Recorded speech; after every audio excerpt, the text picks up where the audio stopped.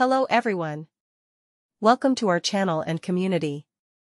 In this video, we will be discussing how to find churches that offer temporary shelter and how to contact them to inquire about hotel room vouchers. To find churches that offer temporary shelter, you can search online for the phrase churches that help with hotel rooms or churches offering temporary shelter. You can also check local directories, both online and offline, which may have listings of churches and their services.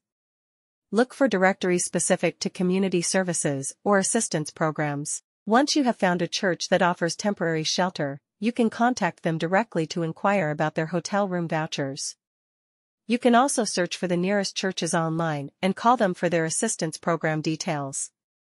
Ask them if they have any emergency accommodation available or if they offer temporary shelter. Another option is to contact social services organizations or shelters in your area. Local government resources may also have information on temporary housing options. What are some churches that offer hotel rooms to people in need?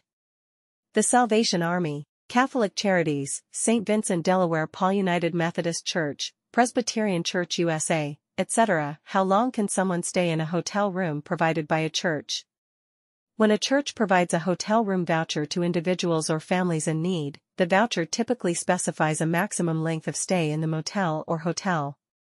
This means that recipients can only stay in the hotel room for the duration specified on the voucher. The length of stay may vary depending on the policies of the church or organization assisting. By searching online, contacting local churches, and reaching out to social services organizations, you may be able to find a hotel room that fits your budget. Remember to always be respectful and polite when contacting these organizations, and good luck in your search for affordable accommodation. If you need more info or need to apply for this assistance, visit the site globalhotelfinder.com.